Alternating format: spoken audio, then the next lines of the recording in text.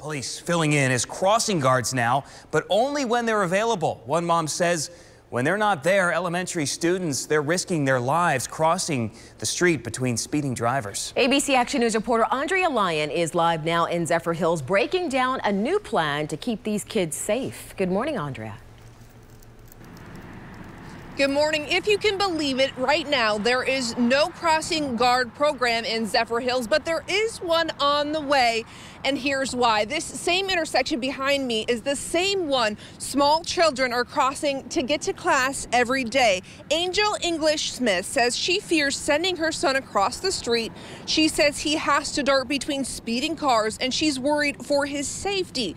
ABC Action News even caught a speeding truck yesterday being pulled over by police in this same area. He is a second grader, seven, seven years old, ADHD. I can't expect him to stay on the sidewalk. I just can't. I expect adults to follow the laws.